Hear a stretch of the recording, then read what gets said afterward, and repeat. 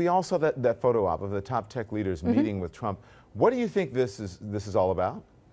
A photo op? Mm-hmm. That's what I think it's about. So that's what it was. It was a very nice photo op, and I don't think very much was said. I've talked to a number of people who were there, and nothing happened.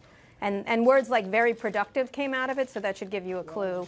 None of the tech leaders talked about it after they left, and they ran out pretty quickly. Um, so I don't think anything happened. It was just a, it was a large photo op, and good for Donald Trump for getting them all in a room, or Peter Thiel, really, who was his major uh, tech uh, helper. You think it was appropriate for the three older children to have participated in this meeting?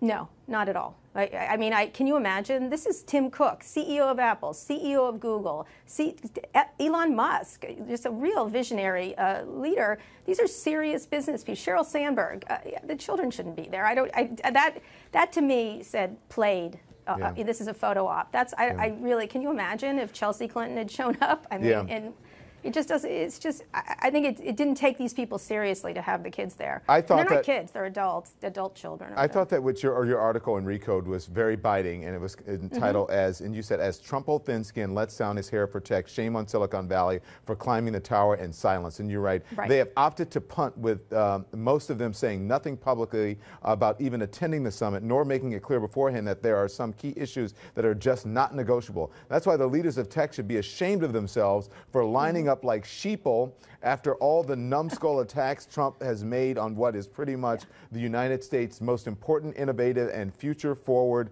business sector. Mm-hmm. I mean, why don't you say how you how you really feel there? Well, Don, we only go around this world once. You got to say what you think. I, I tell it like it is. I take I take my advice from Donald Trump.